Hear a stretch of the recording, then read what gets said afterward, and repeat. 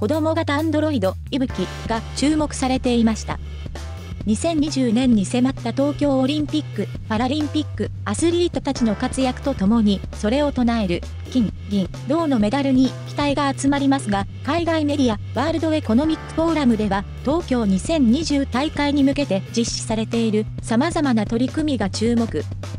動画では全会場で再生可能エネルギー電力が100%使用されること、携帯電話やスマートフォン、パソコンなどの小型家電を日本各地で回収し、集めたリサイクル金属を原材料にメダルを製作する都市鉱山から作るみんなのメダルプロジェクトに関すること、自動運転の無人タクシーが運行されること、ソーラー発電が可能なソーラー道路、また外国人観光客のための翻訳機能付きのサポートロボットの開発が進められてていることが紹介されています。